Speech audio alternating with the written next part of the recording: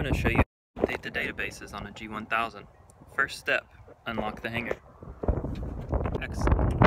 access granted. So we're going to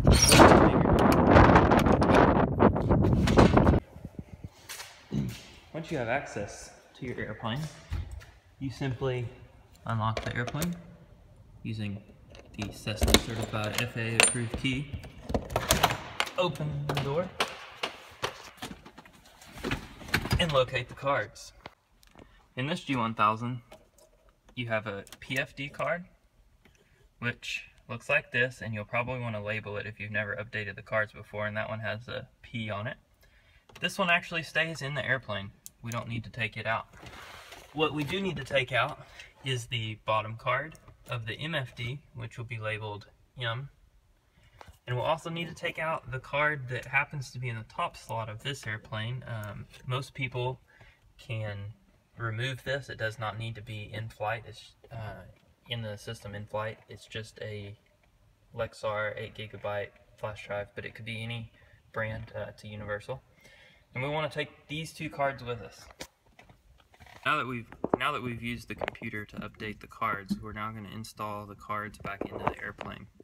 First, you're going to want to uh, get some power, ground power on the airplane, because it may take a little while.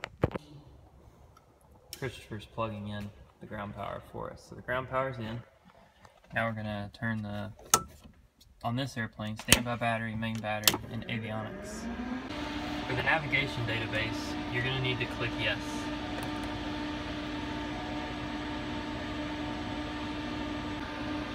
Now that we've done that, hit the enter key to continue, and then you also want to update the active database.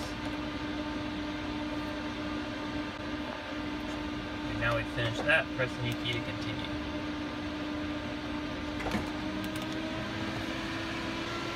As I was saying earlier, you only have to update the MFD card, not the PFD card. The data will now transfer to the other card through the G1000 system. You can see that at system status, where it says sync status status, you can see it update to the PFD1 card. So you want to leave the system on until that is transferred.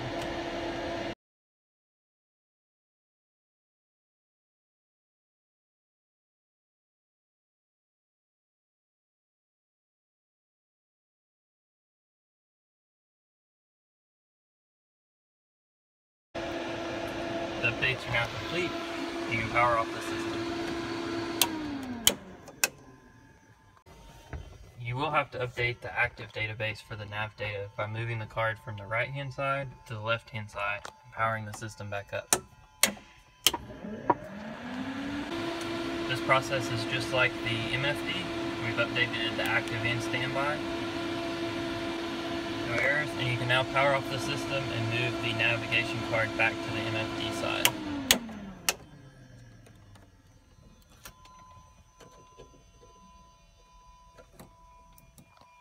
That's it.